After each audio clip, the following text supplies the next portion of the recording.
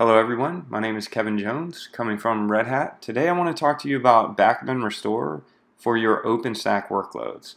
So we can do this with a partner named Trilio and their software called Trilio Vault. And what we can do is actually give the end user self-service capability to backup and restore the workloads they care about. So in this project I've set up two instances. One is a Windows Server 2012 R2 instance and one is a RHEL 7.6 instance.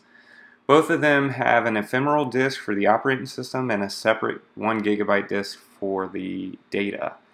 They are on separate private networks, so one RHEL on the private A network and one Windows on the private B network, all attached to a Neutron router with floating IPs. So you'll notice in my Horizon that I actually have an extra tab called Backups, and here I'm going to create a workload. In this case, a workload is just a collection of VMs that I want to back up.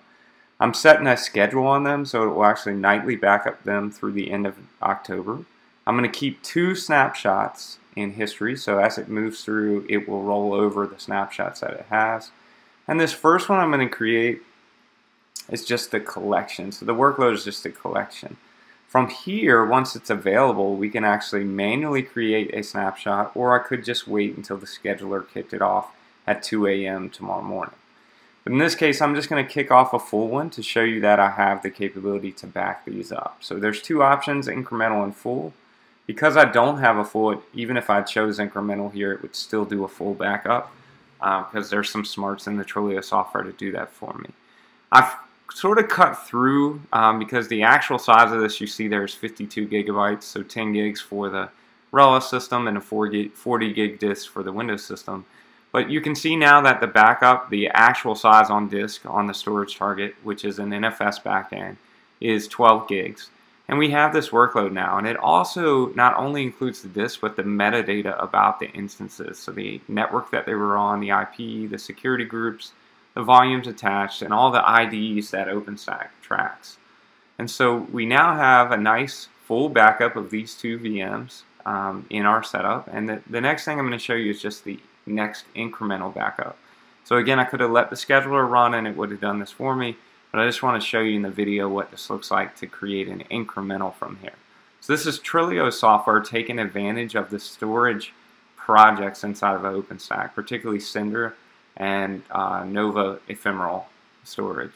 So right now you can see that this incremental backup is now 3.3 megabytes. So it's taken the difference of what hasn't been backed up yet and just creating an incremental snapshot of those instances and their volumes.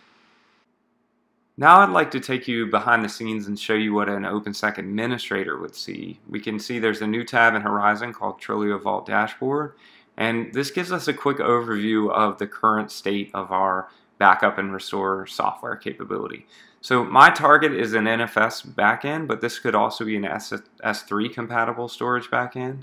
I have one virtual machine that is running the API layer and the controller for Trilio Vault, and then on each of my nodes, I actually have a data mover service that was deployed by Red Hat OpenStack Platform Director, and you can see the status of those is green.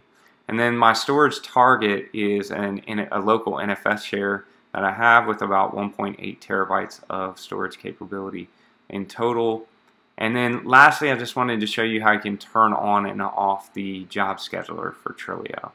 The Trilio software is actually licensed either by VM or by hypervisor. So now that we've done backups, I wanted to show you what it would be like to actually restore a workload. So going back into our project tab, you can see the two VMs there, and what I'm going to do is actually delete the RHEL instance. And you can see that OpenStack warns you that this is not a recoverable action. Right? So this is actually just fully going to delete the system from the environment.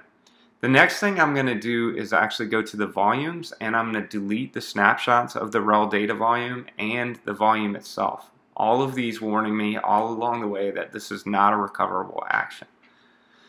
So at this point, I have no RHEL, no history of my RHEL 76 VM. I have no history of that data volume. If I did not have backup and restore capability or the initial backup itself, um, I would not have the ability to recover this workload. But what I'm going to do is go into my last incremental. I'm going to do a selective restore, so just putting a name and a, and a description there. The mapping is the private networks to the existing private networks.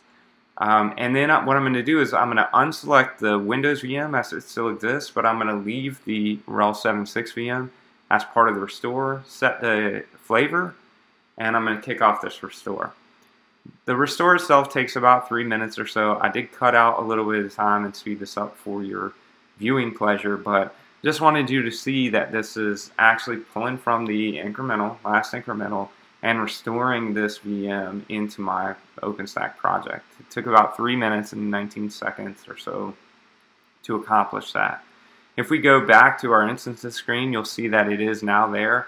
I can reassociate the floating IP that I had originally, and this VM, as far as I'm concerned, is right back online. I'll show you the console here to just to show you that it is booted up and running and then show you the volume tab to show that my volume is restored and attached to that VM.